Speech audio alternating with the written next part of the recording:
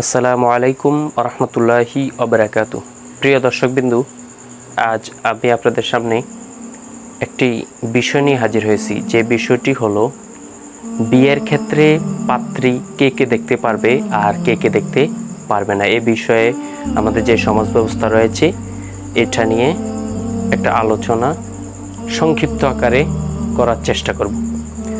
তার আগে বলে রাখি, মানুষের একটা বৈশিষ্ট্য রয়েছে। সেটা হচ্ছে, মানুষ কখনোই সবাইকে খুশি করাতে পারে না। আমরা সবাই চেষ্টা করি আর সবাইকে খুশি করানোর জন্য। আমাদের জীবনের, আমাদের কর্মক্ষেত্রের, আমাদের শিক্ষা জীবনের প্রত্যেকটা ক্ষেত্রেই এক একটা লক্ষ্য রয়েছে। এই লক্ষ্যটা পূরণ করতে হলে আমরা সবাইকে খুশি করাতে পারব না। এটার জন্য আমাদেরকে কি করতে হবে? আমরা আমাদের লক্ষ্যর দিকে ধাবিত হব, এই লক্ষ্যের ক্ষেত্রে কিছু লোককে আমরা খুশি করাতে পারব, কিছু লোককে আমরা খুশি করাতে পারব না। আমরা যাদেরকে খুশি করাতে পারি, তাদেরকে নিয়ে আমরা সামনের দিকে অগ্রসর হব। পিছনে কে আমাদের প্রতি নারাজ হলো, তার দিকে আমাদের তাকানোর দরকার নেই। তাহলে আমরা দেখতে পারব কি, আমাদের যে লক্ষ্যটা রয়েছে, তার দিকে আমরা ধাবিত হয়ে গেছি, অর্থাৎ আমাদের যে লক্ষ্যটা ছিল, ওটার দিকে আমরা পৌঁছে গেছি। এবার আসি আমাদের আজকে যে টপিক এই টপিকের উপরে কিছু কথা বলব। বিয়ের ক্ষেত্রে পাত্রী কারা দেখবে। এই ভুলটা আমাদের যে সমাজ ব্যবস্থা রয়েছে, এটার নিরানব্বই পার্সেন্ট লোক করে থাকে। বিয়ের প্রস্তাবক হলো ছেলে। আমাদের সমাজে দেখা যায় কি, ছেলে তো দেখেই না কে দেখে।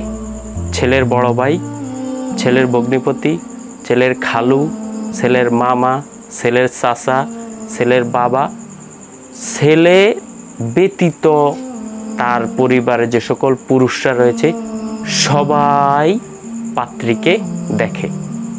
এখন প্রশ্ন হচ্ছে, এটা কি দেখা যাবে কি না? এটার উত্তর হলো যে, পাত্রী দেখতে এই যে সকল পুরুষদের কথা বলা হলো, কেউই দেখতে পারবে না। যদি দেখে, এটা হারাম। এবার আসুন যে কারা দেখবে। যেহেতু বিয়ের প্রস্তাবক হলো ছেলে, অর্থাৎ ছেলে নিজেই পাত্রীকে দেখবে। অর্থাৎ পাত্র পাত্রীকে দেখা সুন্নত। এটার কিছু সুবিধা রয়েছে, যেমন ছেলে এবং মেয়ের মধ্যে যদি বিয়ের আগে দেখা দেখি হয়ে যায়, তাহলে তাদের মধ্যে একটা মহব্বত আগে থেকেই সৃষ্টি হয়। আরেকটা জিনিস হলো যদি তাদের মধ্যে কোনো কথা থাকে বা তাদের মধ্যে কোনো যদি ভুল বুঝাবুঝি থাকে, তাদের পূর্ব জীবনের যদি কোনো রকমের সম্পর্ক থেকে থাকে, তাহলে তারা এখান থেকেই এই ভুলটাকে সংশোধন করে নিতে পারবে। এবার আসি আমাদের সমাজের যেই সমাজ ব্যবস্থাটা রয়েছে। এখন ধরুন আপনি ছেলে, আপনি গিয়ে যদি আপনার চাচা, বড় ভাই, বড় ভগ্নিপতি সহ গেলেন।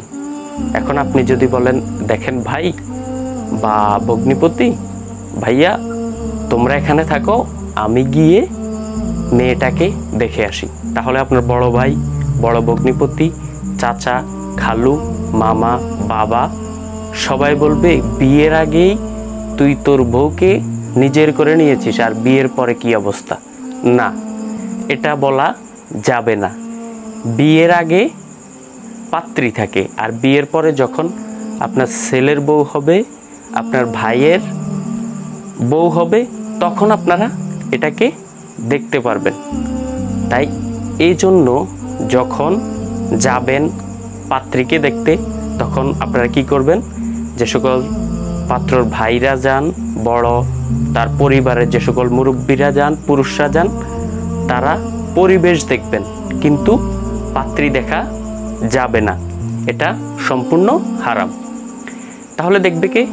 দেখবে পাত্র আর পাত্রের পরিবারের যে সকল মহিলাগণ রয়েছেন, যেমন পাত্রর মা, বোন, ভাবি, খালা, চাচি, এই সকল যে সকল মহিলাগণ রয়েছেন, তারা পাত্রী দেখতে পারবেন। তাহলে এখানে ক্লিয়ার হয়ে গেল, পাত্রপক্ষের পুরুষরা পাত্র ব্যতীত কেউই পাত্রী দেখতে পারবে না।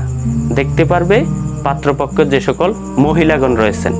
আর পাত্রপক্ষ যে সকল পুরুষরা পাত্রীকে দেখতে যাবেন, তারা ওই পাত্রীর পরিবেশ, পরিবার, এই সমস্ত আনুষঙ্গিক যে বিষয়গুলো আছে, এগুলো দেখতে পারবেন। তাহলে আমরা যদি ছোট্ট ছোট্ট ছোট্ট ছোট্ট করে এই সমাজের ভুলগুলোকে শুধরাতে পারি, অবশ্যই ইনশাআল্লাহ আমাদের যে সমাজ ব্যবস্থাটা রয়েছে এটা ধীরে ধীরে শান্তি, সুখময় এবং ইসলামিক হয়ে উঠবে। অতএব এই প্রত্যাশা জানিয়ে আজকের ভিডিও এখানেই শেষ করলাম। ওমা আলাইনাল ইল্লাল বালাদ। আসসালামু আলাইকুম ওরহমতুল্লাহি অবরাকাতু